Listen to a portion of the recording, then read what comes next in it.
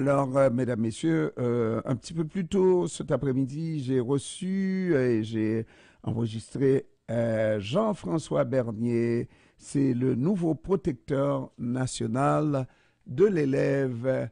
On écoute ce que ça a donné avec le protecteur national de l'élève, Jean-François Bernier.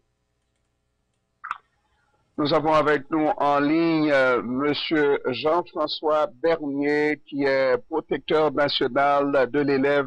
Bon après-midi, Monsieur Bernier. Bonjour à vous, Monsieur Pierre. Ça va bien? Oui, très bien. Vous-même? Oui, moi, je vais bien, même quand ça va mal, Monsieur Bernier. C'est bien ça.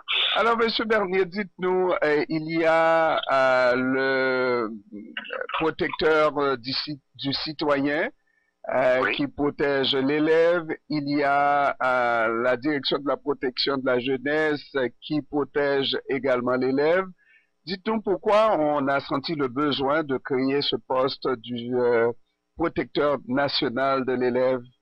Ah ben c'est justement parce que les deux premiers que vous avez nommés ne font pas exactement ce que vous avez dit, qui consiste à protéger les élèves et veiller au respect de leurs droits et euh, évidemment ceux de leurs également. Le protecteur du citoyen, dans les faits, euh, ne peut pas intervenir euh, à l'égard de, plaintes qui, viendraient de parents d'élèves ou d'élèves eux-mêmes à l'é- à l'égard de ce qui se passe à l'école. Il peut, prendre des plaintes qui contre le ministère de l'Éducation, mais pas contre une école, contre un centre de service, une commission scolaire ou une école privée. Par ailleurs, la, la protection de la jeunesse a vraiment un mandat très précis de protéger les jeunes, euh, leur sécurité, leur bien-être en général dans tous les aspects de leur vie. Vous avez raison, incluant potentiellement ce qui pourrait se passer à l'école, mais dans des situations euh, éminemment euh, dangereuses ou qui les met en péril, alors que le mandat du protecteur national de l'élève et des protecteurs régionaux de l'élève, il y en a 13 à temps plein, 4 à temps partiel, qui euh, donc sont là pour recevoir les plaintes à la grandeur du Québec. Ben, eux, leur travail, c'est de pouvoir intervenir lorsqu'ils reçoivent une plainte d'un parent ou d'un élève sur la qualité des services rendus par l'école, l'absence de services, et même dans certaines situations, et c'est de ça qu'on a parlé plus euh, dans les médias aujourd'hui, euh, de situations de violence à caractère sexuel qui concernent ou qui touchent les jeunes qui fréquentent nos écoles. Alors, euh, quand on est protecteur national de l'élève ou même protecteur de l'élève, on protège tous les élèves. Et euh, dans le cas d'agression sexuelle, euh, je vois, d'après ce que j'ai lu euh, du journal, qu'on se questionne à savoir est-ce qu'il y a le personnel de ces écoles-là serait en jeu, si on peut s'exprimer ainsi, serait impliqué donc dans des agressions sexuelles. Et là, je comprendrais. Mais puisque vous êtes le euh, protecteur national de l'élève, est-ce qu'on peut protéger un élève contre un autre élève? Est-ce qu'il n'y a pas un, conflit potentiel?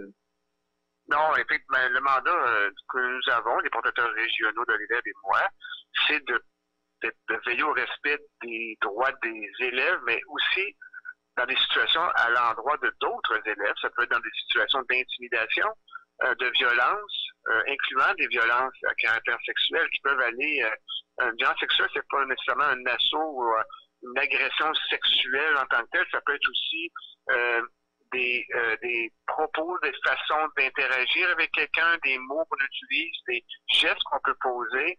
Euh, c'est très large euh, le spectre d'un- d'une violence à caractère sexuel, mais on s'occupe aussi des, situations qui euh, impliquent d'autres élèves et on va intervenir, nous, à l'égard de l'école. Alors, on, se tourne vers l'école et dit, OK, on, vous, informe d'une situation. Maintenant, que, que faites-vous ou qu'avez-vous fait ou pas? Et maintenant, pour l'avenir, on fait des recommandations pour régler le problème de cet enfant en particulier, mais parfois aussi pour plus d'une plus d'une personne et plus d'un élève. Des fois, les recommandations qu'on fait ont des, ont des retombées positives pour plusieurs élèves dans une même école, par exemple. Alors, si je comprends bien, euh, lorsqu'il s'agit de situations euh, entre élèves, euh, on peut même parler d'un aspect pédagogique, si on veut, parce qu'on veut corriger une situation, c'est ça? Exactement, exactement. Quand c'est des enjeux pédagogiques, évidemment, on se tourne plus vers le les employés, le personnel scolaire, les, enseignants, les professionnels, psychologues et autres orthophonistes qui travaillent dans l'école et la direction de l'école. Quand on intervient à, l'égard d'autres élèves, c'est parce qu'il y a une situation de violence, d'intimidation, de violence à caractère sexuel essentiellement. Maintenant, euh, il semble que vous ayez reçu un nombre euh, effarant parmi les plaintes, euh, toutes proportions gardées, de plaintes d'agression sexuelle et ça vous a surpris, paraît-il? Ben oui, parce que évidemment, mon, mon, opinion initiale était plutôt intuitive parce qu'avant notre entrée en fonction le 28 août dernier, donc nous avons commencé à recevoir des plaintes depuis la rentrée scolaire 2023. Euh, il n'y avait pas vraiment d'informations, de statistiques ou de données sur les types de situations, de, de, problématiques qu'il pouvait y avoir dans le réseau scolaire public et privé. Alors là, on découvre des choses. Intuitivement, je m'étais dit, euh, bah, peut-être 5% du total de nos plaintes vont être des plaintes de, de violence à caractère sexuel. Là, je constate, sur proportion gardée, comme vous dites, que on est près du 14% Alors, c'est comme je vous dis, c'est intuitif, ça, c'est pas basé sur des données scientifiques, mais en même temps, euh, je suis un peu surpris. En même temps, ça me confirme la pertinence de, notre présence et de, la différence qu'on peut faire en intervenant euh, après une plainte ou un signalement. Justement, un élève ou toute, personne. Justement, je pensais à, une question sur euh, pas seulement la pertinence, c'est évident, mais la différence que ça peut faire effectivement lorsqu'on sait que euh, on suppose, hein, je veux croire euh, que les plaintes à caractère sexuel euh, concernent des relations entre élèves, etc. Et dans la mesure où ces jeunes se considèrent comme invincibles et ayant tous les droits, etc., comment on, on, peut espérer faire la différence en ce que des plaintes à caractère sexuel diminuent après un certain temps?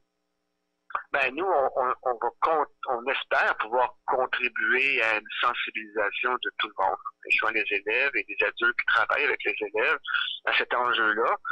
L'objectif ultime, c'est qu'il n'y en ait plus de situations comme ça dans nos écoles. Euh, on, va contribuer à, ce, à cet objectif-là, mais on n'est pas les seuls. Il y a d'autres qui doivent contribuer, les élèves eux-mêmes, euh, les parents, euh, avec les valeurs qu'ils inculquent et ce qu'ils disent à leurs enfants, les, les gens qui travaillent dans les écoles aussi, qui élèvent, qui éduquent nos enfants.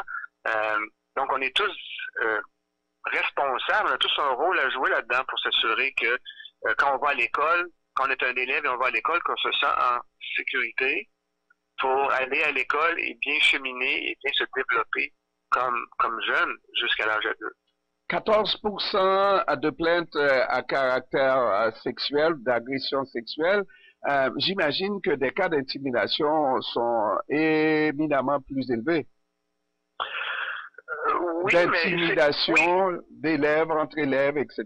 Oui. oui, bien sûr, bien sûr. Est-ce que c'est plus élevé? Je n'ai pas les chiffres exacts, mais il y en a, il y en a, on en, traite, euh, puis on, intervient auprès de l'école qui, eux, vont ensuite faire les interventions qui doivent être faites auprès d'autres élèves et ou auprès des parents de ces autres élèves. Donc, on veut s'assurer que, comme je viens de le dire, que l'environnement scolaire est le plus sain et sécuritaire possible pour les pour les jeunes qui les fréquentent. Et ce qui est important de, dire peut-être à vos auditeurs, c'est que les protecteurs régionaux euh, sont, relèvent de moi. Je, ils sont dans mon organisation. Ils, ne relèvent pas des, commissions scolaires, des centres de services scolaires ou des écoles privées. Ils sont vraiment indépendants totalement euh, des écoles.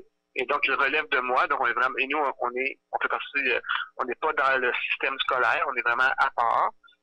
alors, je pense que c'est important de savoir que quand on, fait appel un protecteur régional ou au protecteur national de l'élève, on a des gens qui sont neutres, impartials, euh, et à l'abri de toute pression qui pourrait éventuellement survenir de la part de, l'école ou, autre. Et au contraire, il y a une pression sur euh, sur l'école euh, justement parce que ces cas-là sont sont dénoncés assez régulièrement.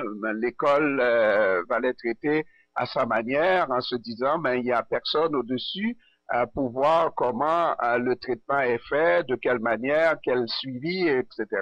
Maintenant qu'il y a le protecteur national, qui a ces protecteurs régionaux-là, eh ben, on se dit toujours qu'il y a peut-être un œil extérieur euh, qui va regarder euh, comment on traite ces dossiers-là.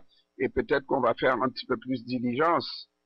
Tout à fait. Je crois que c'est un, une grande avancée euh, qu'on puisse avoir une procédure comme celle-là qui est vraiment impartiale et, et hors euh, du réseau scolaire. Et euh, je pense que pour les parents et les élèves, ça devrait passer un message clair que euh, l'écoute va être là et que l'intervention soit faite de façon vraiment totalement impartiale. Et sachez que normalement, dans toutes les écoles du Québec, qu'elles soient publiques ou privées, depuis le mois de novembre, il doit y avoir des affiches qui annoncent nos services et la procédure pour les élèves. Alors, normalement, c'est supposé être sur les murs des écoles. Alors, on se parle. Jean-François Bernier, protecteur national du citoyen, pour une première entrevue. Euh, Monsieur Bernier, en espérant que c'est pas la dernière. Et euh, je vous remercie et je vous souhaite bonne chance dans vos nouvelles fonctions. Merci, Monsieur Pierre. À la prochaine. Merci. Au revoir. Au revoir. Alors, je souligne que Monsieur Jean-François Bernier est protecteur national de l'élève.